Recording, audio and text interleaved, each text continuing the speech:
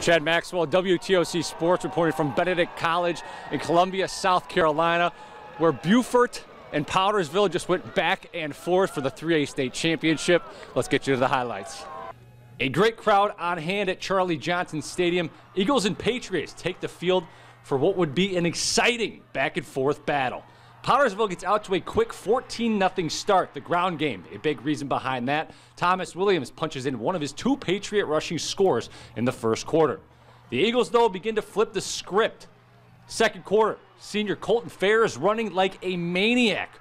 Will find the end zone on two straight Beaufort possessions to knot the game up at 14. Fairs was shaken up, but would return. Thomas Williams again quickly answers back with yet another touchdown run to put the Patriots back up front. But on the ensuing kickoff, Casey Fields on the return, 2,000 yards from the backfield this season, this time collecting 89 yards on the kickoff return. He house calls it and ties the game at 21. Powdersville adds a field goal before the half and led 24 to 21 going into the third quarter.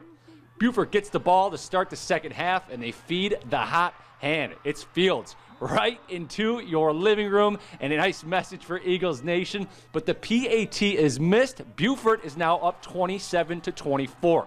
The Patriots march right back down the field and in the red zone. Guess who? It's Williams yet again.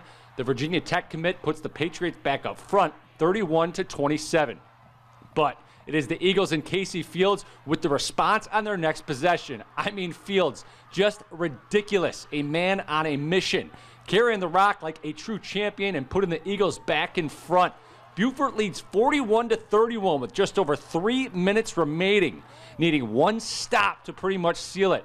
Bad Patriot snap. Eli Hudgens escaping, escaping. He's going to make an incredible throw that Williams is able to come down with, but the Eagles force the fumble and recover.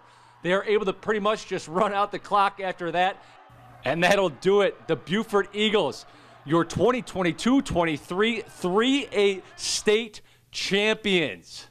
Um, this is my, this is my last year we haven't won a championship since 1945, and that's very, very, very big for the uh, whew, for the organization. Good feeling. Been wanting this all year. Been, been waiting for this since summertime, but we here now. We did it.